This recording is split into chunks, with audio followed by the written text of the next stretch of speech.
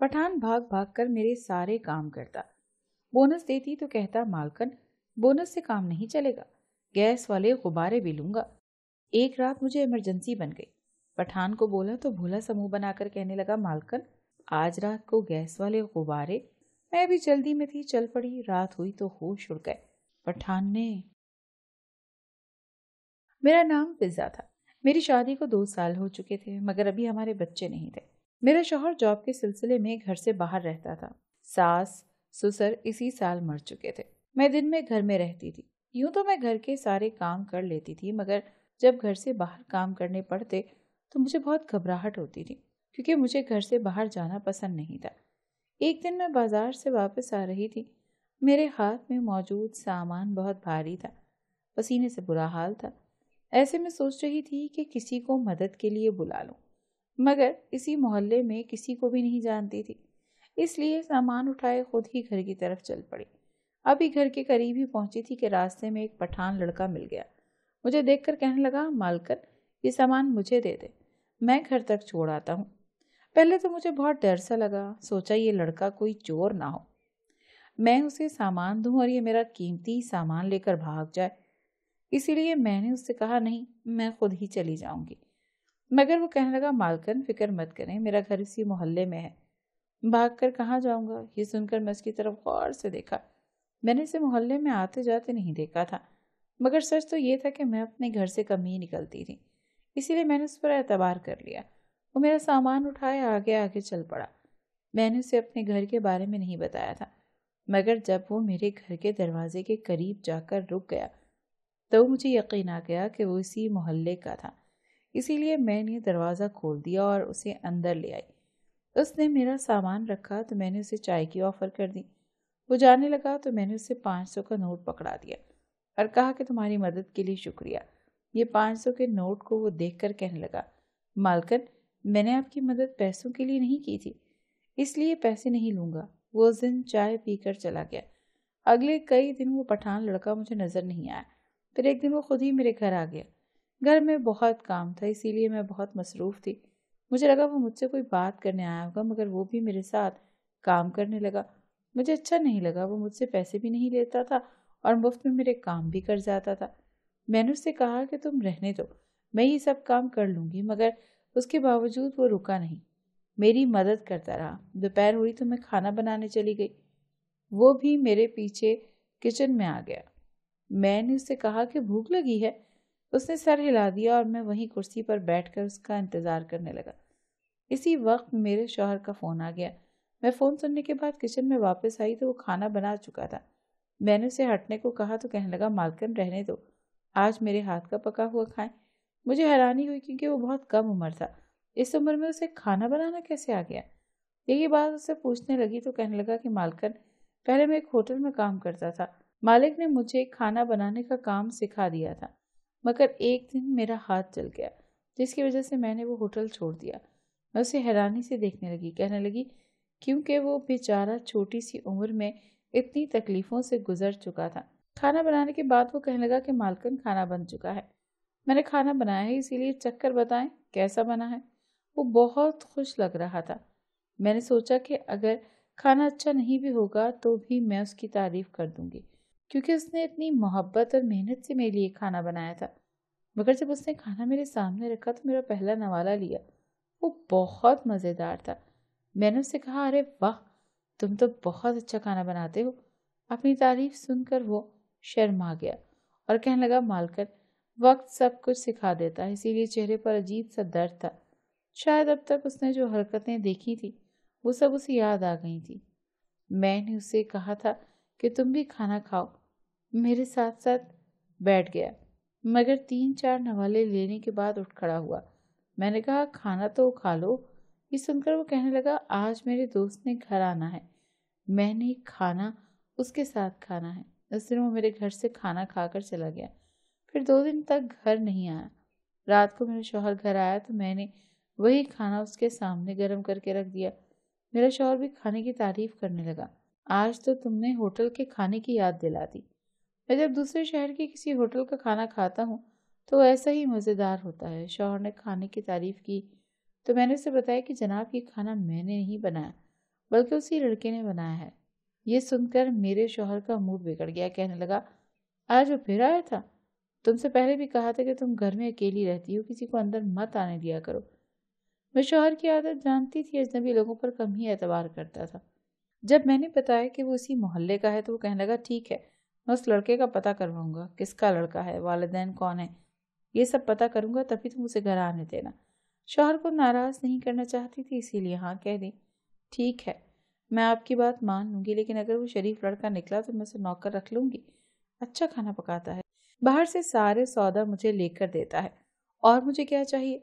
शोहर कहने लगा, ठीक है, लेकिन पहले मुझे पता तो करने दो। मैंने सोच लिया था कि वो सब जो ही मेरे घर आएगा मैं उससे नौकरी की बात करूँगी, मगर अगले दो दिन तक वो मेरे घर ही नहीं आया।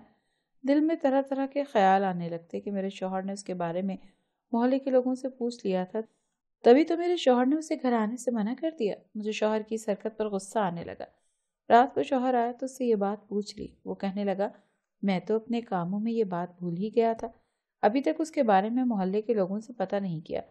मेरे दिल को एकदम सुकून मिला।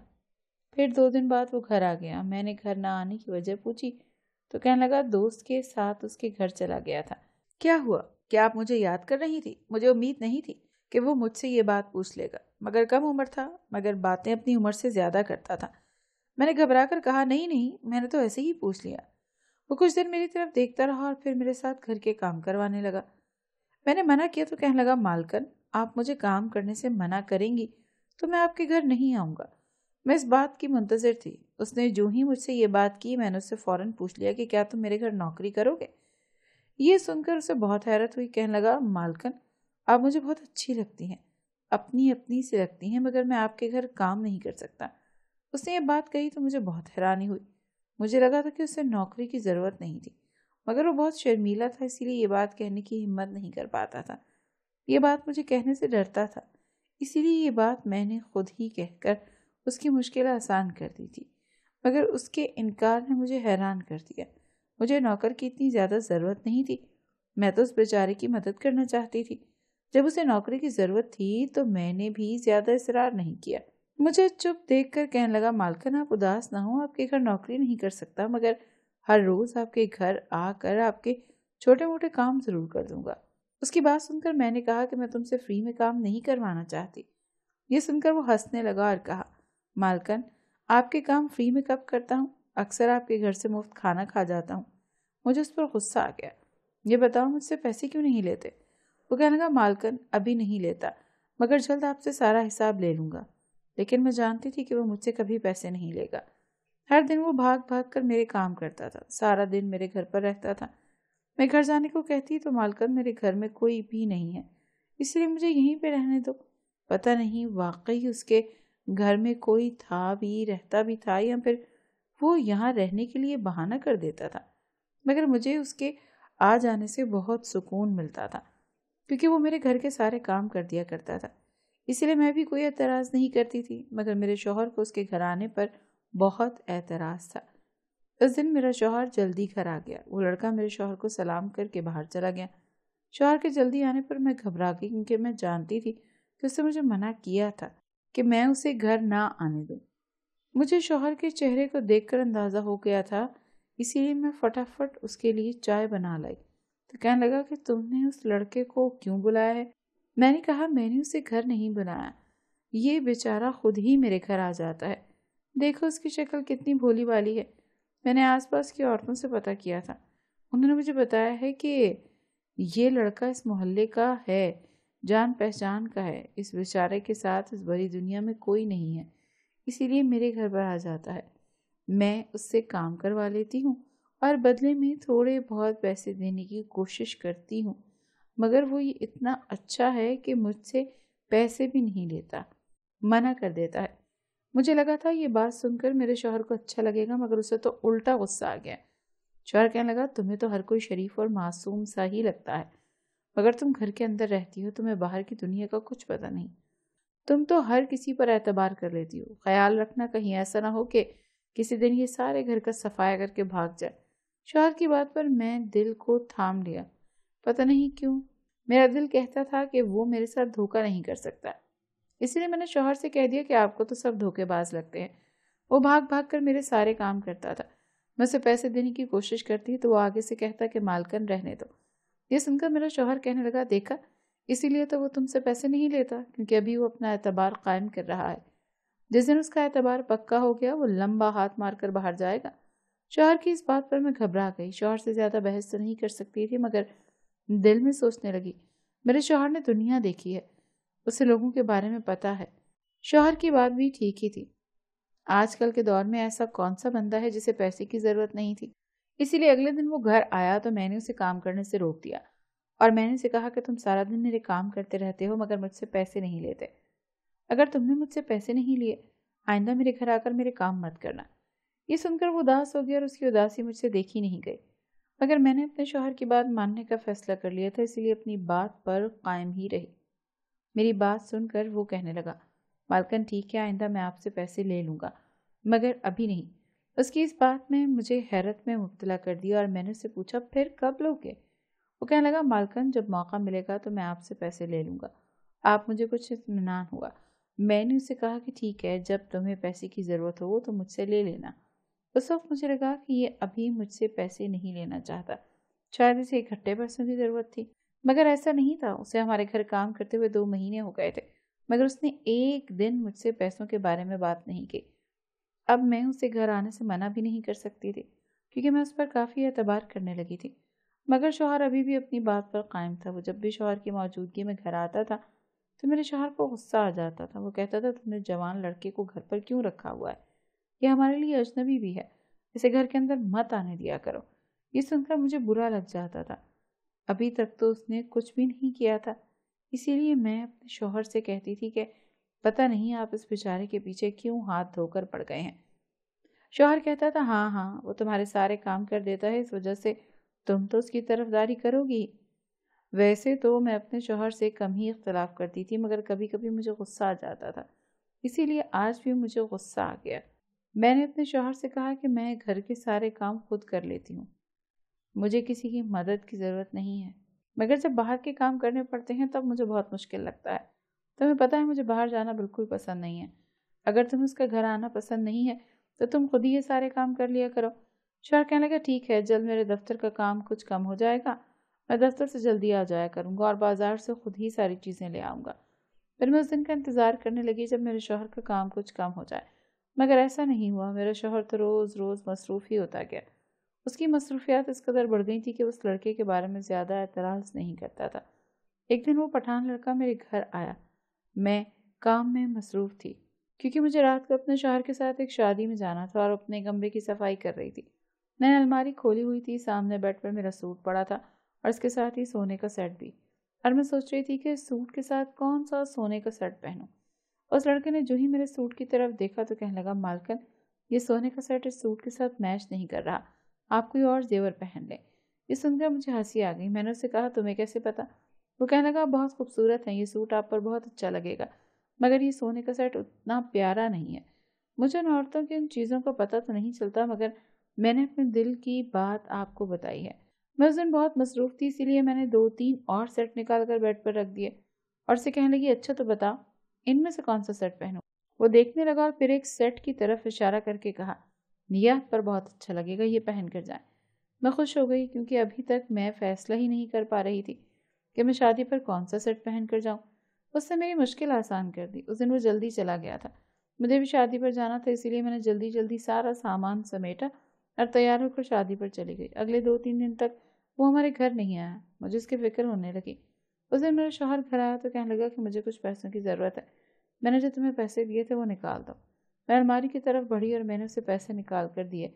तभी मेरी नज़र एक खाली सेट पर पड़ी। वहाँ मेरे जेवरात को होना चाहिए था। मगर वो नहीं था।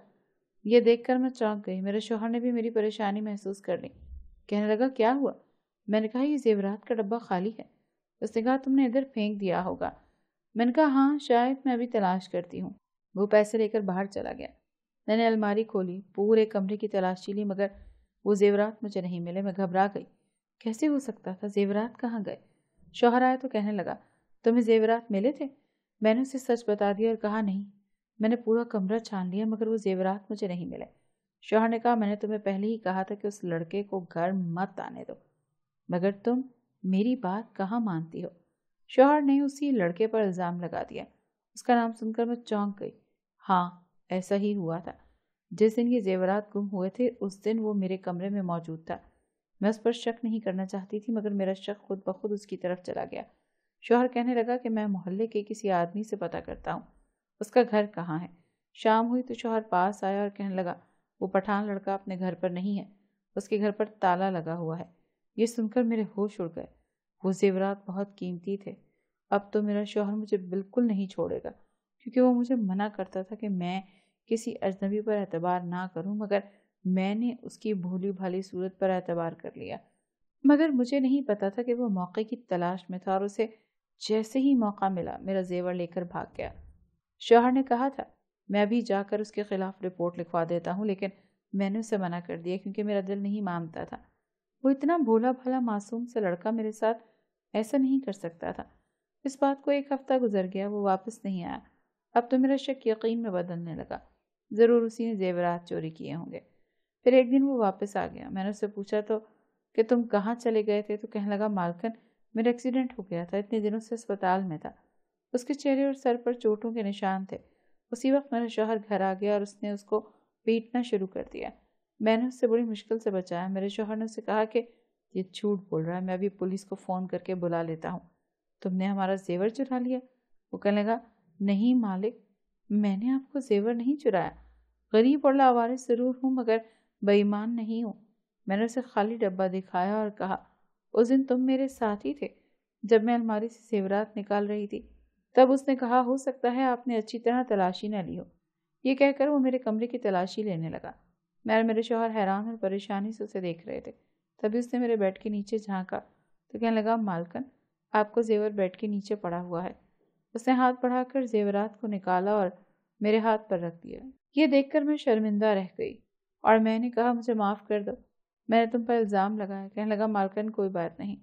मेरा शोहर भी उससे माफ़ी मांगकर चला गया तो मुझसे कहने लगा मालकन, आप मुझे हमेशा पैसे देने की कोशिश करती थी ना, मगर मैं इनकार कर देता था, मगर आज मुझे पैसों की ज़रूरत है, इसलिए आपसे पैसे लेने आया हूँ। मैं अपने घर के बाहर गैस वाले गुब्बारे बेचा करूँगा। उसने शर्मिंदगी से कहा तो मैंने उसे कुछ पैसे दे दिए, जिसे लेकर वो खुशी खुशी चला गया। कुछ दिन बाद गली से गुजरी तो वो नुक्कड़ पर खड़ा गुब्बारे बेच रहा था। मैं पास गई तो उसके चेहरे पर मुस्कुराहट बिखर गई। मैंने जल्दी से अपना दुपट्टा ठीक किया और पूछा, इतने दिन से घर क्यों नहीं आए? जानते हो मैं कितना तुम्हें याद कर रही थी। वो कहने लगा, मालकन, सारा दिन काम में मसरूफ़ होता हूँ। छुट्टी वाले दिन ज़रूर आपके घर आऊँगा। फिर जब उसको फुर्सत मिलती तो वो मेरे घर आ जाता और मेरे ढेर सारे काम करके चला जाता।